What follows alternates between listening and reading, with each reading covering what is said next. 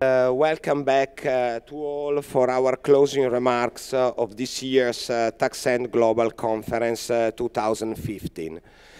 We trust uh, that the sessions so far have been have, uh, proven useful and that the Taxand relationship worldwide have been forged and invigorated. This is, uh, these are mainly uh, the topics that we talk during this day. It was the anti-abuse rules and litigation, the BEPS, the ultimate transfer pricing, the indirect, the indirect tax, what's on the trend.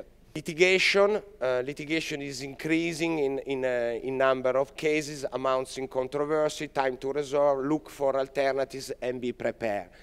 BEPS, uh, BEPS uh, we said that uh, there is the issue of uh, the inconsistent, incons inconsistent national rules uh, with respect uh, sometimes to the other position of the of different country in which the situation where, where BEPS rules can, can, can be applied.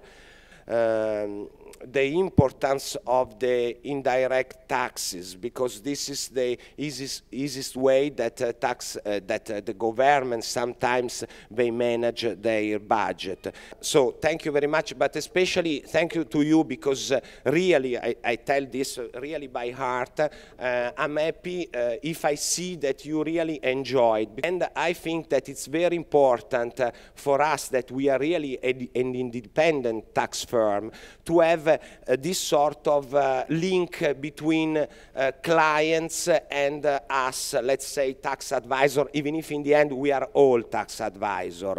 I think yesterday it was said by Professor Fantozzi, but it was also really the last phrase. Don't forget that we absolutely wait for you next year in Dublin.